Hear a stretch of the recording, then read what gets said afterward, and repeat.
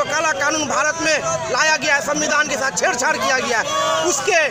उसका पुरजोर विरोध करते हैं और अनंत काल तक जब तक ज़िंदा रहेंगे, तब तक हम लोग इसका विरोध करते रहेंगे।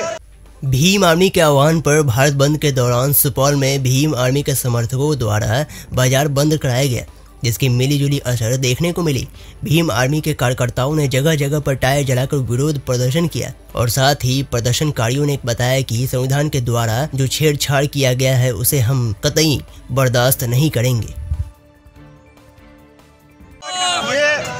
जो है भीम आर्मी के तरफ़ से जो भारत बंद का आह्वान किया गया है, उसी के बैनर तले हम लोग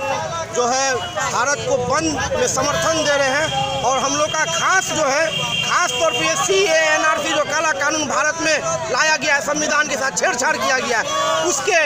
उसका पुरजोर विरोध करते हैं और अनंत काल तक जब तक ज़िंदा रहेंगे तब तक हम लोग इसका विरोध करते रहेंगे। और साथ साथ हम लोग का अब ये कोशिश है कि ये जो हमारे चचा हैं, जो एनपीआर